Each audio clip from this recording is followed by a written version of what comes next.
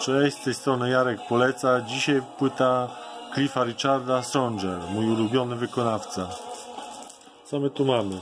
No, oprawa graficzna bardzo skromna z drugiej strony. Tytuły.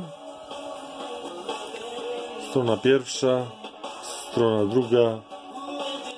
Kto jest producentem? I oczywiście koszmar.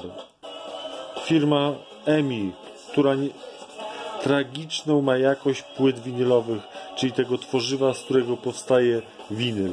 Nie polecam. Cała płyta przeskakuje jak jasna cholera. Ale uwielbiam i dlatego kupiłem. No teraz posłuchajcie jak to wygląda.